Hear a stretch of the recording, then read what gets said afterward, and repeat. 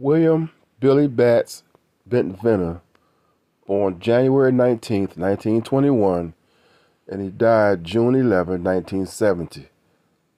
Also known as William Devino, was an Italian American mobster with the Gambino crime family who was a longtime friend of John Gotti in the 1960s. After spending years in prison for narcotics trafficking, Bentvena was murdered by Lucchese crime family associate Tommy DeSimone with the help of fellow Lucchese associates James Jimmy Burke and Henry Hill.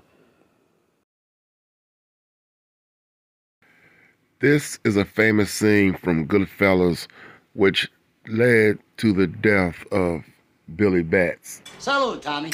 No more shines, Billy. Now go home and get your fucking shine box. Motherfucking mud! You, you fucking piece of shit! Unfortunately for Billy Batts, that smart remark, go get your shoe shine box, is what led to his death.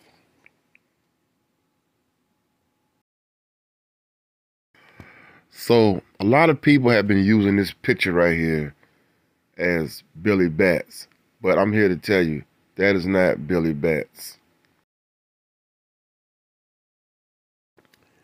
If you do a picture search, as you see, it comes up as William Bentvena and Pat Sparita. And that's exactly who that is. That is Pat the Cat Sparito.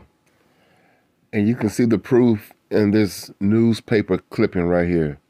You can see his name, Pascal Sparito. And you can see by the different pictures that that is Pat Sparito.